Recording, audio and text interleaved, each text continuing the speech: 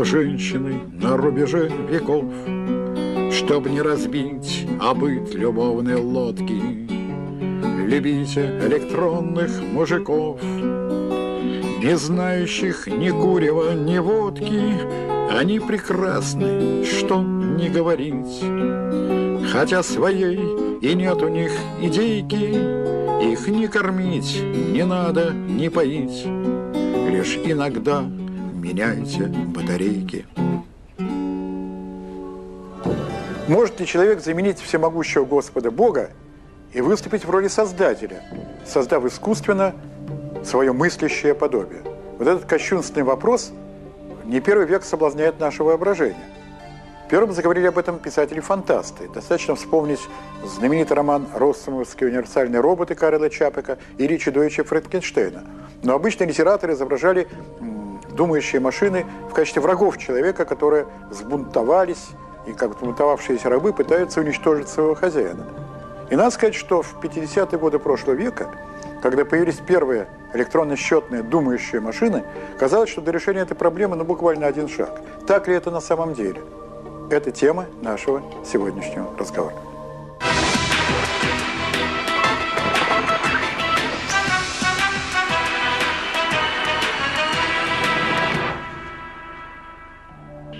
1965 году профессор Массачусетского университета Джозеф Эйценбаум создал программу «Элиза», названную так в честь героини пьесы Бернарда Шоу «Пигмалион».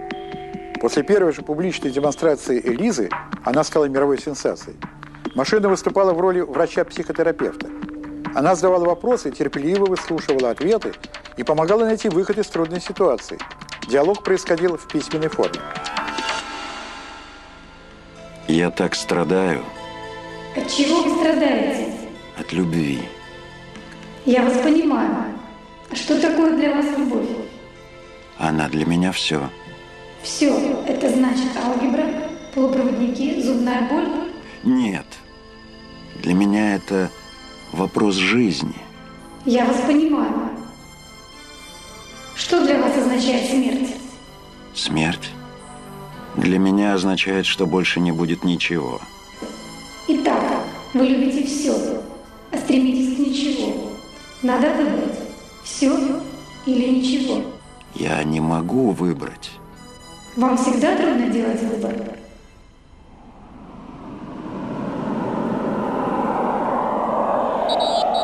У любого, кто общался с Элизой, складывалось впечатление, что машина понимает его.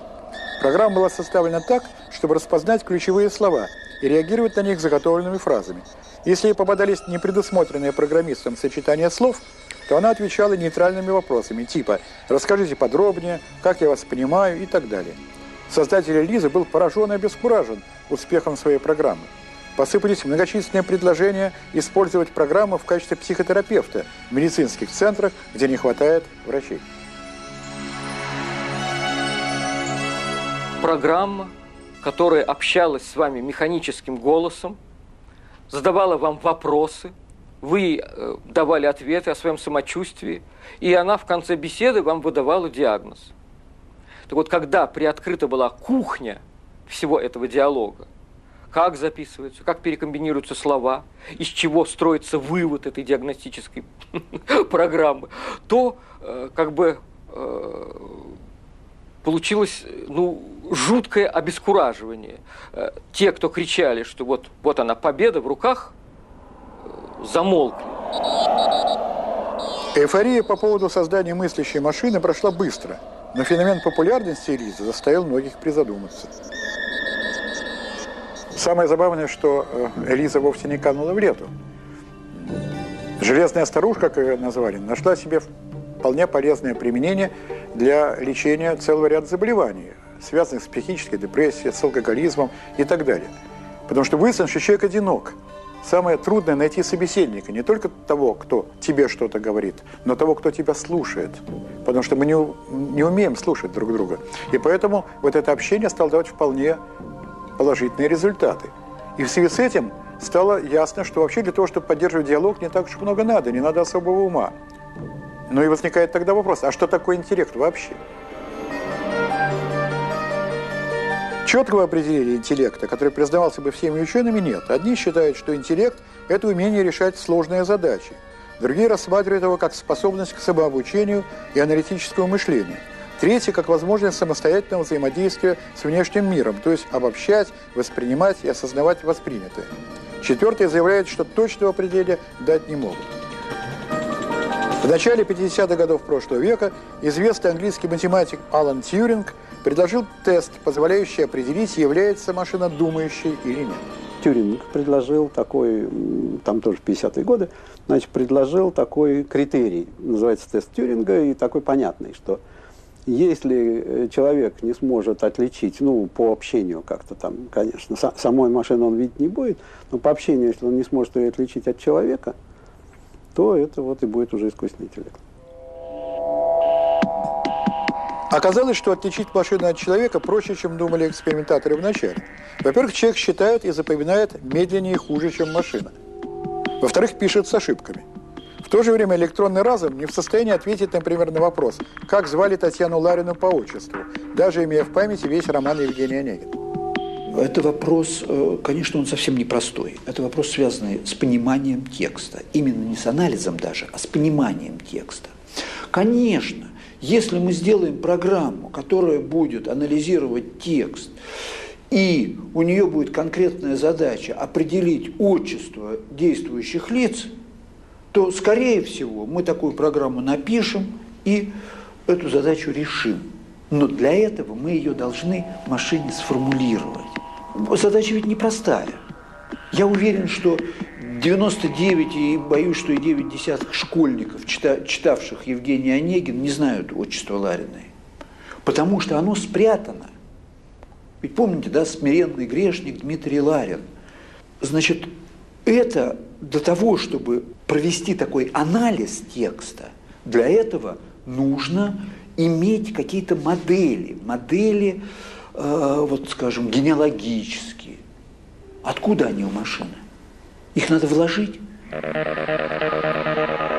Возникает проблема так называемых фоновых знаний. У человека они огромны. Это информация, которая накапливается ежедневно.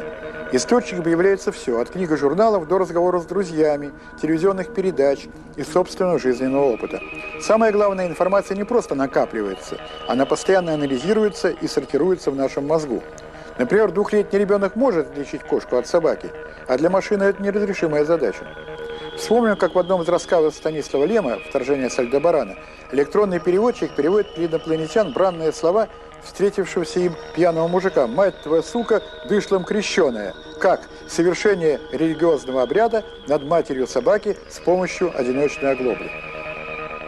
Пока мы работаем в группе признаков – волосатая, четвероногая, шерстью покрытая и так далее. Мы на, выбрали набор признаков. Мы не в этот момент, как правило, это простая очень, да, простой набор. Когда мы даем большой набор признаков, то мы полагаем, что, может быть, его достаточно для того, чтобы идентифицировать, скажем, какой-то образ. А оказывается, что его недостаточно.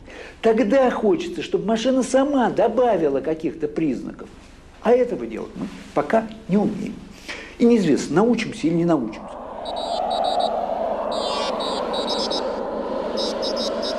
Человек старается научить машину думать, но для этого нам самим надо понять, что такое мышление. Его изучают логики, психологи, нейрофизиологи. Это неимоверно сложный процесс. Вот почему кибернетики, работая над созданием искусственного интеллекта, могут использовать только изученные формы мышления. Наиболее понятны сегодня законы логического мышления. Поэтому можно научить машину играть в шахматы. Электронный разум способен молниеносно перебрать массу вариантов и прогнозировать развитие партии на 14 ходов вперед. Во время одного из матчей «Человек против машины» Каспаров выбрал такую стратегию защиты, что машина не могла просчитать его варианты на много ходов вперед, и поэтому ей приходилось все время менять варианты, и она начала делать откровенно глупые и вредные для себя ходы. И в результате через 4 часа после начала партии на 45-м ходу машина проиграла. Значит, все-таки Искусственный разум пока не может противостоять естественному, но есть и другие задачи. Кроме игры в шахматы, самые большие достижения в сфере создания искусственного интеллекта связаны с разработкой методов, позволяющих машинам решать конкретные задачи. Я разрабатывал модели математические зрительного восприятия.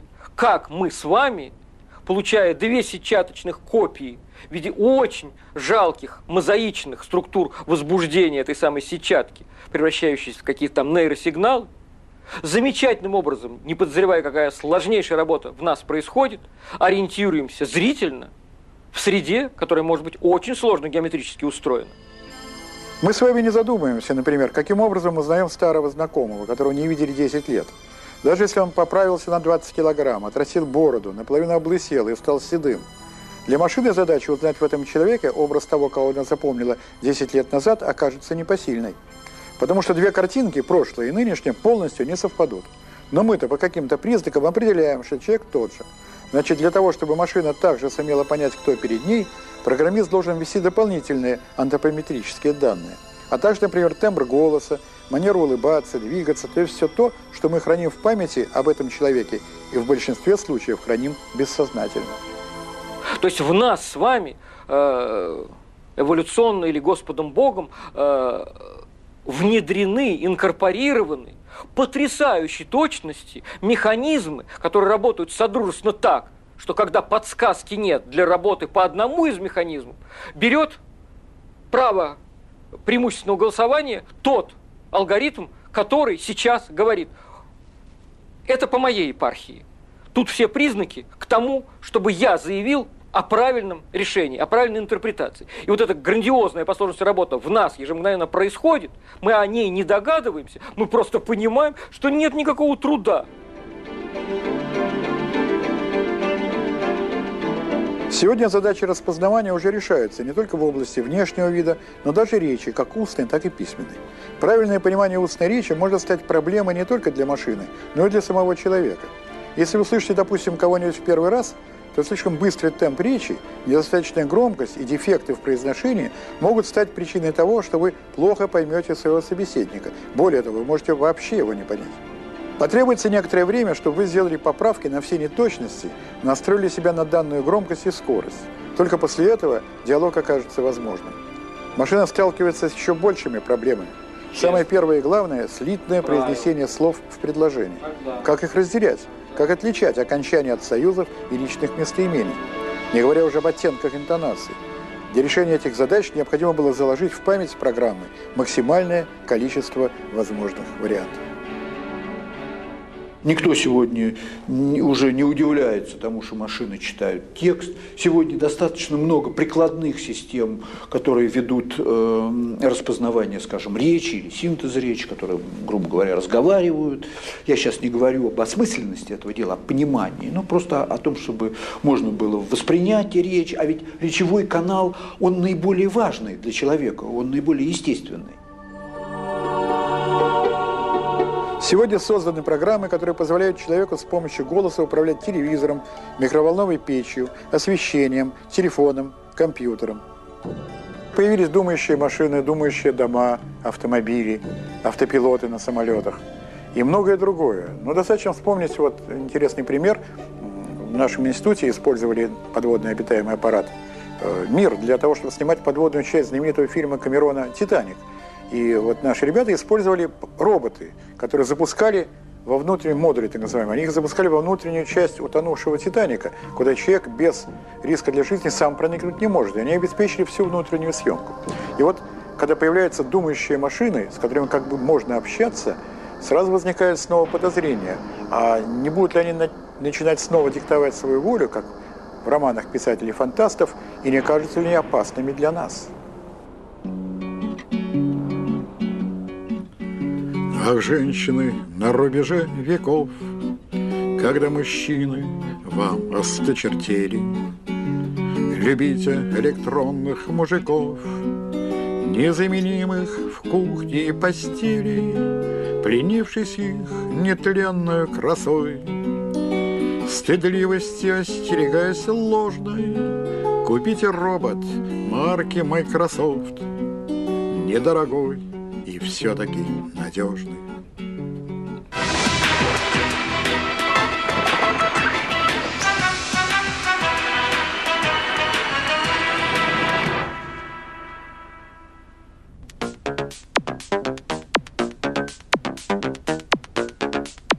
Роботы-солдаты, принимающие самостоятельные решения или выполняющие команды своего изобретателя-хозяина, слава богу, пока еще фантазия. Однако наш мир очень быстро заполняется самыми разными электронными машинами, которые помогают нам в быту и на работе. За нас стирают, моют, готовят, считают, пилотируют самолеты, разрабатывают маршруты исследования и ведут контроль за ядерными реакторами.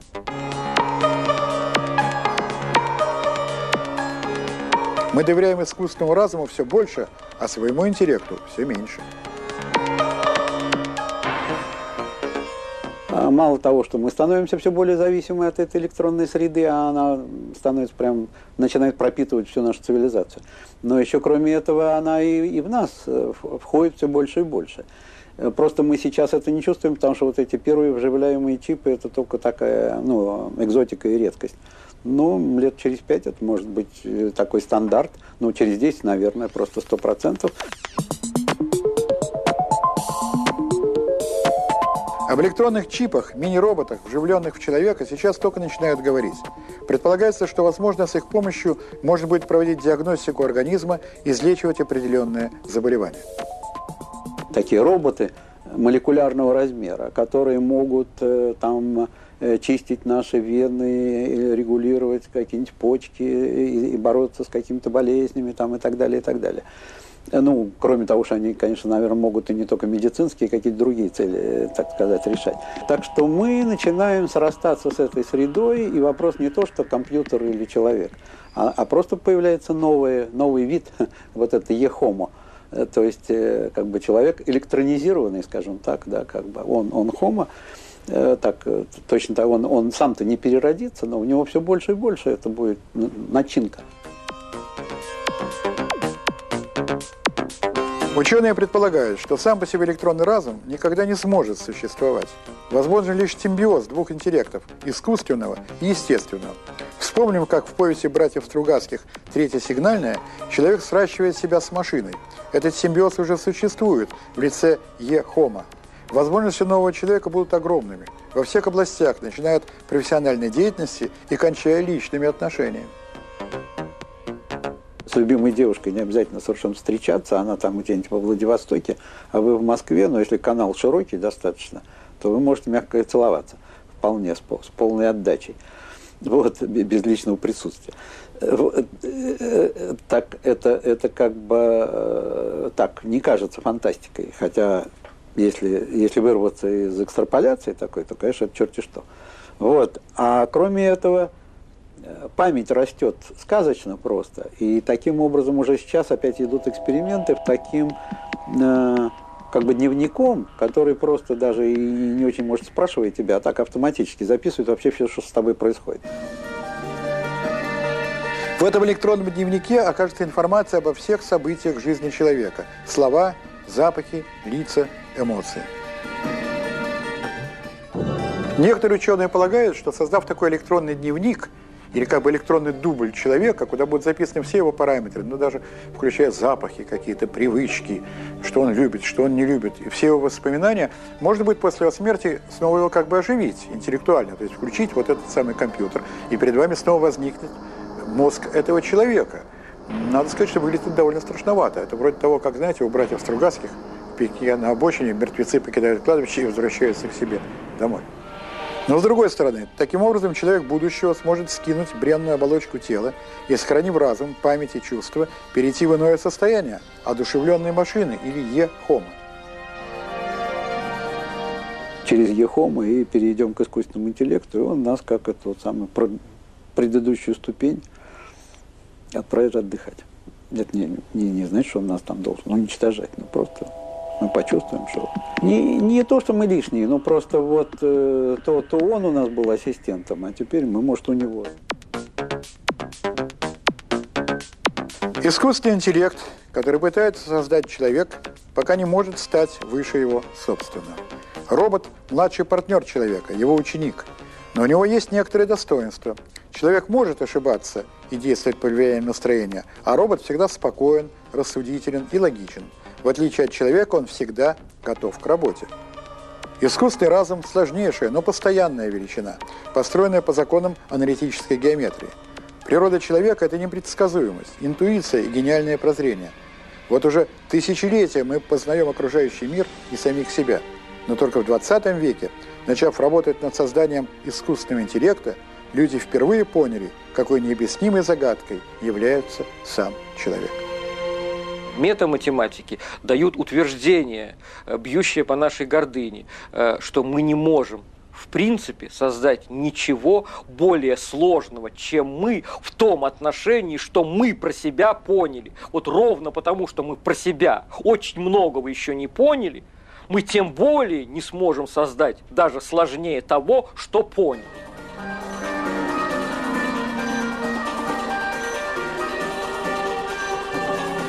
Для того, чтобы создать искусственный интеллект, копирующий человека, необходимо объяснить машине законы природы. К сожалению или к счастью, далеко не все они умещаются в прокрустово ложе математических формул. Как же быть? Примерно 30 лет назад в науке появился термин «фрактал». В переводе с латинского это означает «разбитый на части». Изобретателем слова «фрактал» Бенуа Мандельбротом в 1975 году, заявившим, что геометрия природы – это фрактальная геометрия, собственно, из содержательной части и было заявлено, что обратите люди внимание на вот эти новые множества нецелочисленной размерности, в них, как в ящике Пандоры, спрятаны сокровища. Можно честно заявить, а, от лица математики говорю, что фрактальная геометрия пока не создана. Зато появилась фрактальная живопись. Что это такое? Возьмем, к примеру, куриное яйцо. Если на него посмотрит математик, то он увидит эллипс, построенный по классическим законам геометрии. Если на него посмотрит биолог, то он увидит объект живой материи, построенный из множества молекул и атомов, взаимодействующих между собой по биологическим законам. Фрактальный же художник видит в этом яйце и эллипс, и молекулы, и математические формулы, которые их связывают. Более того, он видит даже курицу, которая его снесла, и другое яйцо, из которого получилась эта курица. Итеративный алгоритм может породить структуру кружевную, где художник увидит и яйцо, и омлет, и вилку. И попробуйте научить математика работать с этим объектом, как он привык. Ему надо яйцо отдельно, вилку отдельно, омлет отдельно. А тут гора образов, которые еще надо дородить, визуализировать. После того, как на экране компьютера возникает узор из штрихов, окружностей и точек, математик превращается в художника. Он вглядывается в картину и в хаосе линии прозревает диковинные фигуры и пейзажи. Затем он захочет, чтобы его картина зазвенела красками. И здесь художник вновь становится математиком. Он задает машине формулы, в соответствии с которыми программа закрашивает определенные фрагменты картины определенными цветами. Но вероятность того, что художник-математик сможет просчитать все последствия вводимых изменений, ничтожно мала. Подобно тому, как конструктор, который проектировал грибной вид «Титаника» в 1908 году, не мог бы представить себе все возможные последствия своей работы, так и мы с вами в 2005 году, зная только некоторые части этих последствий, не можем и предположить, какую роль эти знания сыграют в нашем будущем. Именно бесчисленное множество причинно-следственных связей делает теорию фракталов настолько похожей на законы живой природы, частью которой является интеллект человека. Скульптор Пигмалион создал прелестную Галатею, но оживил ее не он, а боги Олимпа. Об этом надо помнить. А вот чудовище, созданное Франкенштейном, оно действительно какое-то время существовало и кончилось тем, что оно убило своего создателя. Когда мы создаем мыслящие машины, не надо забывать о том, что мы замахиваемся на то, чтобы уподобиться Господу Богу. Это кощунственный совершенно замах, который может привести к совершенно страшным последствиям. Потому что, если вернуться к тому же Карлу Чапаку, то вспомним, что ведь у механизма, у робота нет ни понятия морали, ни нравственности, ни угрызения совести. Слава Богу, сегодня человек может создавать достаточно примитивные роботы, играет в шахматы, там, выполняет несложные операции. Он может передавать только часть того, что знаем мы, то есть своего интеллекта. Что же касается создания абсолютного интеллекта, то эта проблема на сегодняшний день неразрешима. А женщины на рубеже веков В эпоху импотенции повальной Любите электронных мужиков, Удобных, как компьютер персональный, С любым из них хоть целый век живи. Любой из них вас не посадит в клетку, А если вам захочется любви, включите их ближайшую розетку. А женщины на рубеже веков, Чтоб не разбить обыт любовной лодки, Любите электронных мужиков, Не знающих ни курева, ни водки, Они прекрасны, что не говорить. Хотя своей и нет у них идейки, Их не кормить, не надо, не поить. Лишь иногда меняйте батарейки.